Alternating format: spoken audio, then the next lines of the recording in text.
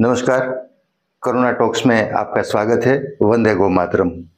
दोस्तों, जो सभी प्राणी हैं हमारे आसपास, जो पशु है, पक्षी है, जो जीव है, वो हमारे स्वजन है, हमारे मित्र है, ऐसा भाव क्रिएट करने के लिए 1925 से 4 अक्टूबर को नेशनल एनिमल डे घोषित किया गया है। पूरे विश्व में नेशनल एनिमल डे का सेलिब्रेशन होता है 4 अक्टूबर को। तो उसमें क्या होता है? कि ये सभी जीव है, जो प्राणी है, वो हमारे, मैंने जैसे बताया, स्वजन है, मित्र है। उसके साथ कोई क्रुअलिटी ना हो, कोई क्रूर बर्ताव ना हो, वो हमारे मित्र है, ऐसा बर्ताव हो।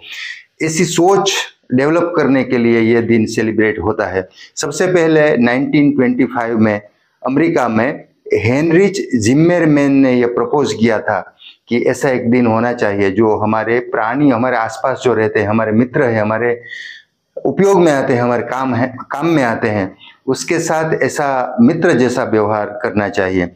और एक स्लोगन दिया गया है, एक सूत्र दिया गया है don't destroy their homes to build your मतलब कि उनके घरों को नष्ट न किया जाए, जो प्राणियों के, पक्षियों के जो घर है, उसका निवास है, उसे नष्ट न किया जाए आपके घर बनाने के लिए। मतलब हमारे घर निर्माण करने के लिए किसी प्राणी, पक्षी का घर हम नष्ट न करें, ऐसा एक स्लोगन दिया गया है। और सबसे ज़्यादा सेलिब्रेशन सबसे पहले सेलिब्रेशन कहाँ हुआ था?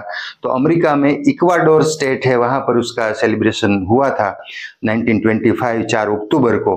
तो ये दिन चार अक्टूबर का नेशनल एनिमल डे हम भी सेलिब्रेट करें, हमारे आसपास जो प्राणी है, पक्षी है, उनका सम्मान करें, उनके साथ कोई क्रुआलिटी क्रूरता न करे, वो और वो हमारे मित्र हैं, ऐसा बर्ताव करे।